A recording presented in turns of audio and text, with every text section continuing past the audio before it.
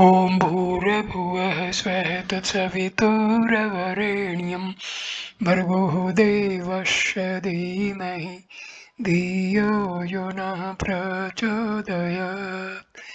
ॐ शान्ति शान्ति शान्तिः। Namaskar my dear friends.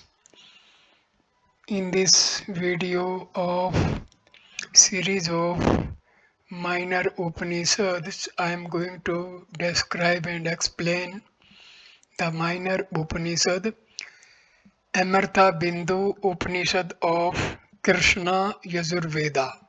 Om.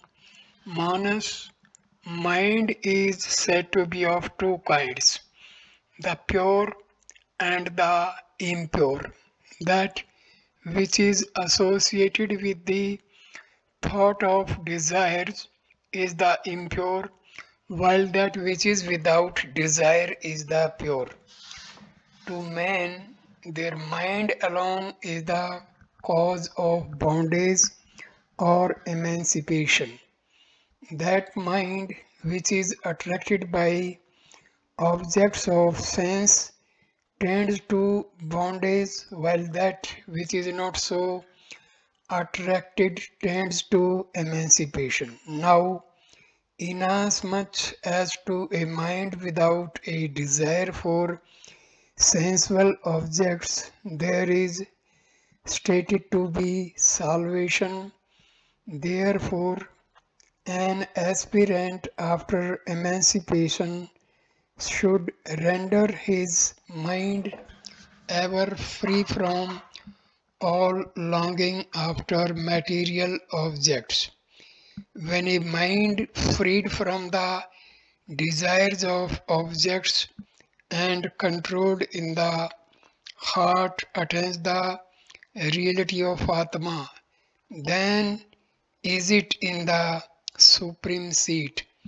Till that which arises in the heart perishes, till then it, manas, should be controlled. This only is true wisdom.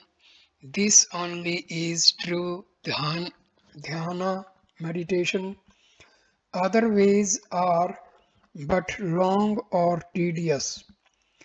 It Brahma is not at all one that can be contemplated upon. It is not one that cannot be contemplated upon. It is not capable of contemplation and yet it should be contemplated upon.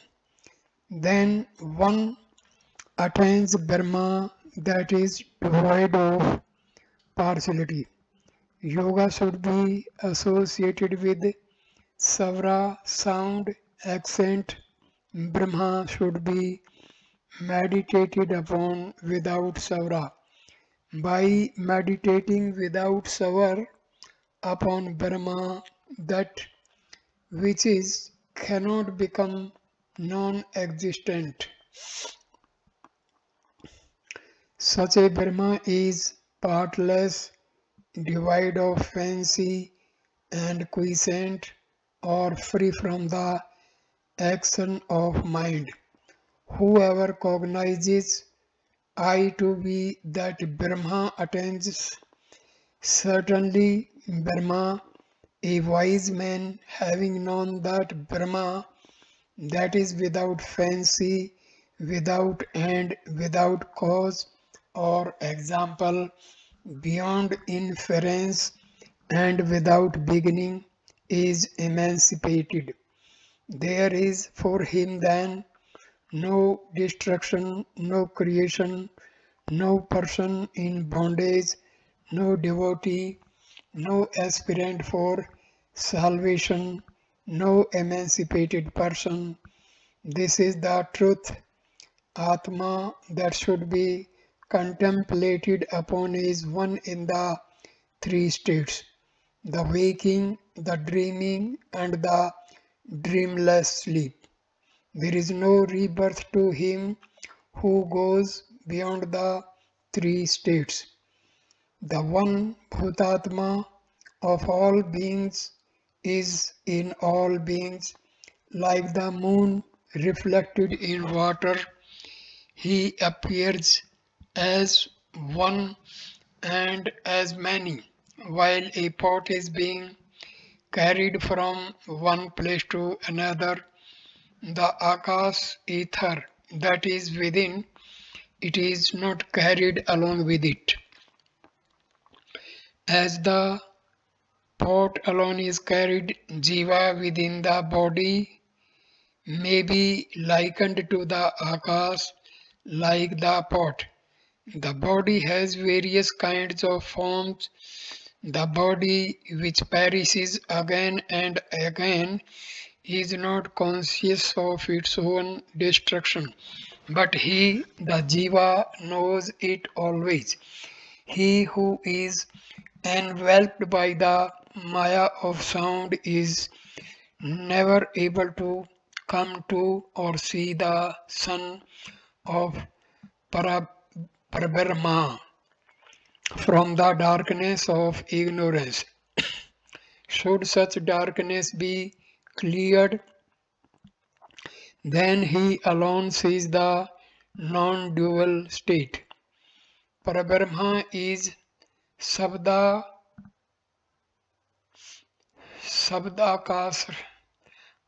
What remains after the cessation of Shabda Vedas, that is Aksara indestructible should be meditated upon by a learned man who wishes to secure a quiescence to his Atma. Two Vidyas, sciences are fit to be known, which Sabdabrahma and Prabrahma. One who has completely mastered Sabd attains Parbrahma. Having studied well the books, the learned man should persevere studiously in jnana, the acquisition of knowledge, and vijnana, self-realization, according to such knowledge. Then he should discard the whole of the books as a person in quest of grain gives up the straw though there are cows of different colors yet their milk is of the same color like milk is seen jnana and like cows are seen the different kinds of forms in the universe. As ghee is latent in milk, so is Vijnana self-realization latent in every being. Through churning always the manas with the churning stick of manas and the string of jnana, prabrahma that is partless calm and quiescent should be brought out like fire from the wood. I am that Brahma, that Vasudeva, who is sport of all beings, who lives in all and who protects all creatures is myself. That Vasudeva is myself, such is the Upanishad Om Tat Sat. Now I will explain all the stanzas one by one.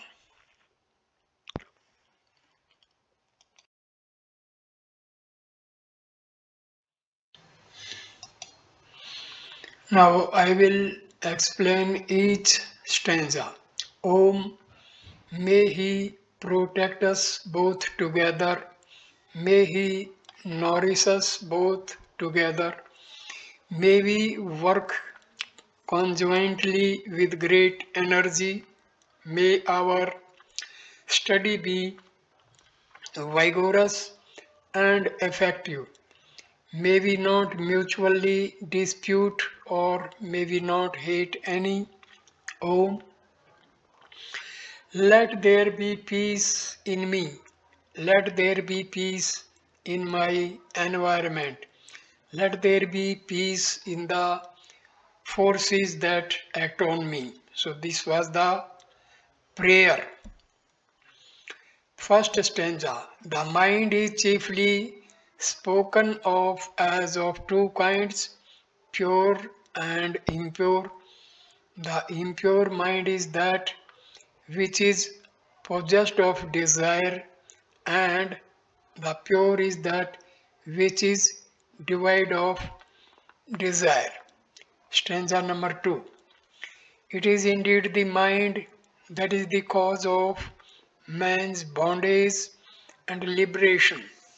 The mind that is attached to sense objects leads to bondage while disassociated from sense objects it tends to lead to liberation. So they think. Stanza number 3 since liberation is predicated of the mind devoid of desire for sense objects, therefore the mind should always be made free of such desire by the seeker after liberation. Stanza number 4 When the mind with its attachment for sense objects annihilated is fully controlled within the heart and thus realize its own essence, then that supreme state is gained. Fifth, the mind should be controlled to that extent in which it gets merged in the heart. This is jnana realization and this is dhyana meditation also. All is argumentation and verbiage. Stanza number 6 the supreme state is neither to be thought of as being something external and pleasing to the mind nor unworthy to be thought of as something unpleasant to the mind, nor is it to be thought of as being of the form of sense pleasure, but to be thought of as the essence of the ever manifest, eternal, supreme bliss itself. That Brahma, which is free from all partiality is attained in that state. Stanza number 7. One should duly practice concentration on Om first through the means of its letters, then meditate on Om without regard to its letters. Finally, on the realization with this latter form of meditation on Om, the idea of the non-entity is attained as entity. Stanza number 8. That alone is Brahma without component parts, without doubt and without tent. Realizing I am that Brahma, one becomes the immutable Brahma.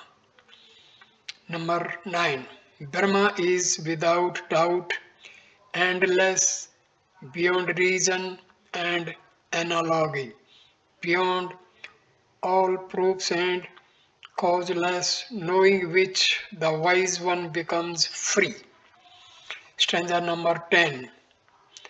The highest truth is that pure consciousness which realizes there is neither control of the mind nor its coming into play.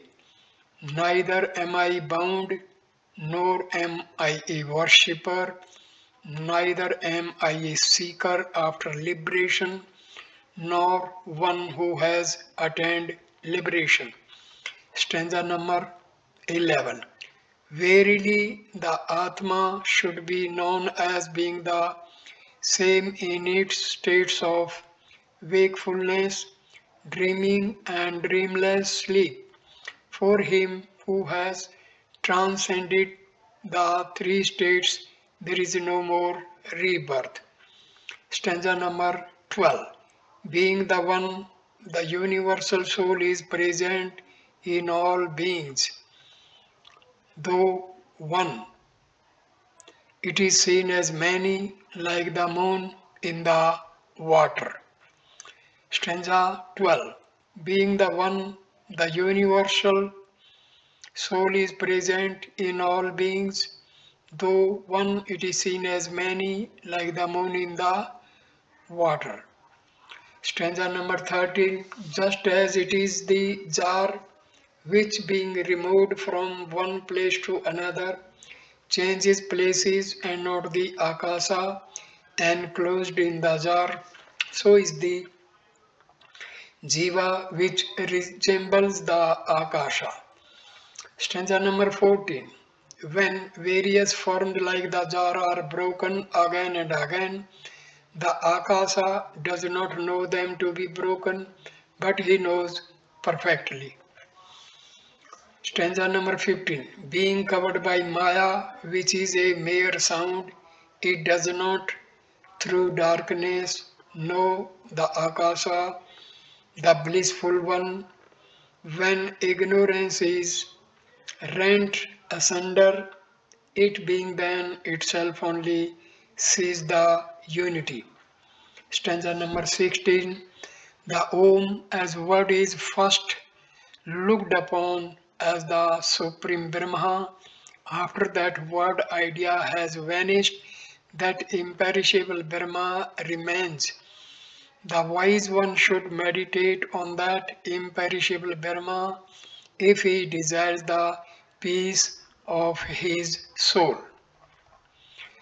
Stanza number 17. Two kinds of Vidya ought to be known. The word Brahma and the Supreme Brahma. One having mastered the word Brahma attains to the highest Brahma. Stanza number 18. After studying the Vedas, the intelligent one who is solely intent on acquiring knowledge and realization should discard the Vedas altogether as the man who seeks to obtain rice discard the husk. Stanza 19 of cows which are of diverse colors, the milk is of the same color. The intelligent one regards jnana as the milk and the many branched Vedas as the cow. Stanza 20 like the butter hidden in milk, the pure consciousness resides in every being that ought to be constantly churned out by the churning rod of the mind. Stanza number 21.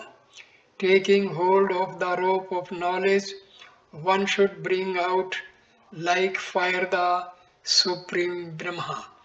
I am that Brahma, indivisible, immutable, and calm. Thus it is thought of. Stanza number 22. In whom resides all beings, and who resides in all beings by virtue of his being the giver of grace to all. I am that soul of the universe, the supreme being I am that soul of the universe, the supreme being. Om, may he protect us both together. May he nourish us both together. May we work conjointly with great energy. May our study be vigorous and effective. maybe not mutually dispute or maybe not hate anyone. Om let there be peace in me, let there be peace in my environment, let there be peace in the forces that act on me. I will further explain about this Upanishad. Amrita Bindu Upanishad is the twentieth among the 108 Upanishad in the Muktika Upanishad order and form part of Krishna Yajurveda this Upanishad being one of the five Bindu Upanishad Tejo बिंदु नादा बिंदु ध्याना बिंदु Upanishad and Brahma Bindu is one of the 20 Yoga Upanishads. The main teaching of this Upanishad is Jnana Yoga. It is small Upanishad and contains only 22 verses. The bondage and liberation. There are two kinds of minds, impure and pure. The impure mind is with the influence of the desire, and the pure mind is devoid of any desire. When the mind attaches itself to the objects of desire, it leads to the bondage where, whereas when it is free from the influence of objects of desire, it leads to liberation. The seeker should constantly free the mind from the influence of objects of desire. It is for the reason that liberation will become a reality only then. The impediment for liberation or mukti is desire. When freed from bondage, the mind reaches the state of transcendence where self does not exist. It is the mind that makes the bondage and it is the mind that liberates. Control the mind to reach that stage of transcendence. This is wisdom as well as meditation. One should not meditate this upon as it is a desire to get liberated. At the same time, one should not restrict himself to meditate upon as there is no other way to get liberated. When one does this without any inclination becomes Brahma. Om meditation.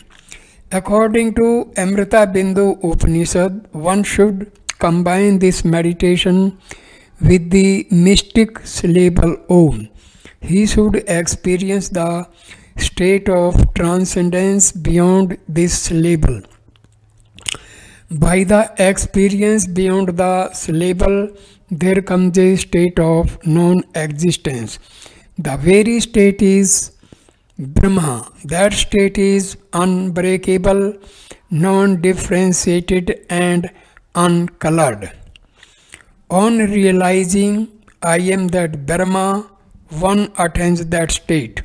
Upon realizing the non differentiated, indefinite, seedless, immeasurable, and boundaryless state, the wise one gets liberated.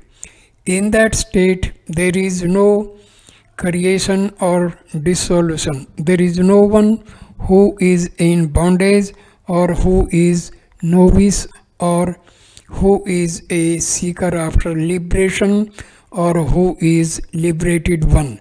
This is the ultimate truth. Atma. The Atma finds itself at any of three stages waking, dreaming, and deep sleep. When it transcends the three stages, there is no rebirth. Otherwise, it finds itself as one and many through life after life like multiple moons in the water. The ether is always there inside the pot. When one carries the pot from here and there, one when the pot gets dismantled, ether is not there. Likewise is the Atma like the pot, it assumes various forms. On destruction, one does not know where is either is. Similarly, is Atma. Atma surrounds itself with the darkness of the outer world of names and forms. Until the darkness is dispelled, one could not reach Atma. Only on the removal of darkness, the oneness of Brahma becomes known. Sabd Brahma and Transcendental Brahma. The sound of the mystic syllable is Om. When sound decays, there exists the syllable. If the seeker wants the peace of Atma, he should meditate on that syllable. There are two techniques. One is Sabda Brahma and the second is Brahma that transcends. He who has mastery over Sabda Brahma reaches the transcendent Brahma. For the attainment of transcendent Brahma, the seeker who has studied the scriptures should abandon the scriptures entirely like grain abandons the husk. Though cows are different in color, the milk is always one color.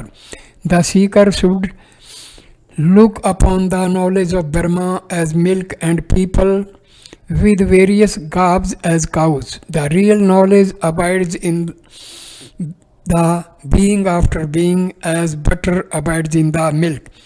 He should always churn with churning tool of mind in every being. With the eye of knowledge, one should attain the state of transcendental Brahma. That transcendent state of uninterrupted, motionless, and tranquility as I which dwells in all beings, though all beings dwell in that I am that Vasudeva, that Vasudeva I am.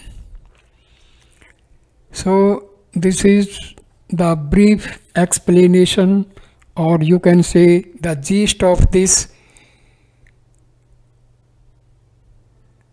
Upanishad. Om Tat Sat.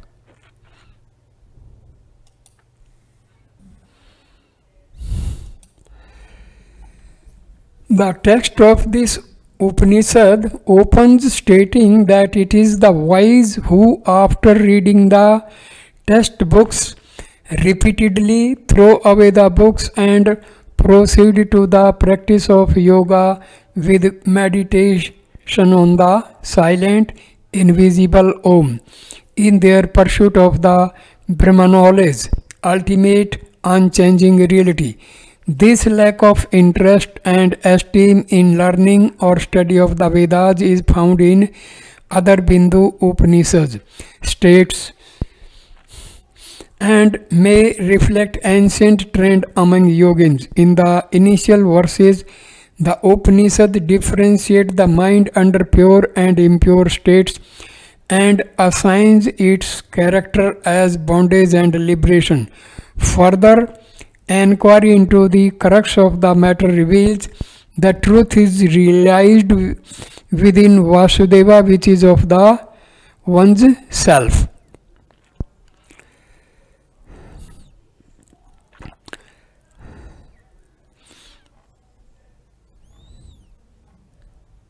So I conclude this video at this point. Thank you for watching. Namaskar, my dear friends. Thank you.